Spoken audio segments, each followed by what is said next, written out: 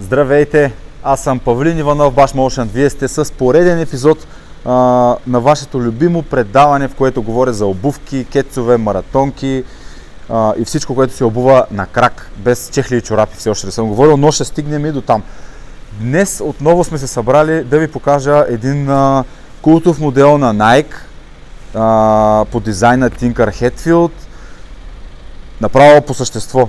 Ето е котията. Nike Air Max 1. Виждате го uh, White Photo Blue Total Orange.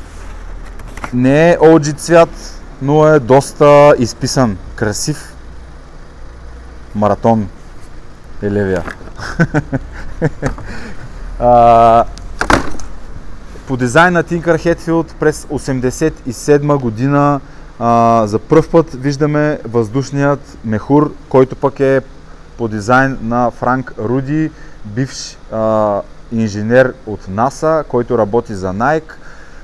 За първ път виждаме тая технология, иначе си стои вътре в а, обувката, в подметката. За първ път в Nike Air Tailwind от 1978 година но тъй като купувачите на Nike не познават, не, не може да им се обясни лесно какво точно означава тая Air технология, Nike дават задача на Tinker Hatfield да направи по-достъпен, по-лесно, смилаем и разбираем модел за публиката и той създава Air Max технологията и Air Max модела.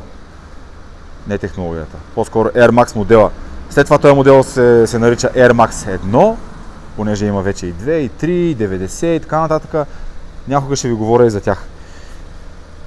И така, интересното всъщност е комбинацията от цветове. Махам тук хартийката. А, всъщност първият модел, който излиза 87 година, Air Bubble вътре не е цветен. Той е напълно прозрачен. Впоследствие вече вкарват интересни цветове, правят ги малко по-приветливи. Отзад е оранжево, логото, тук отпред, където пише Air Max. Uh, Dynamic Blue се казва модела, именно заради ето това синичкото тук. Може би това е според uh, наименованието на цветове на Nike, това е Dynamic Blue. Бял меш отгоре, много, много мек черен велур отпред. Uh, подметката е бяла, uh, кожата е много добра. Черна стелка, обувам на крак.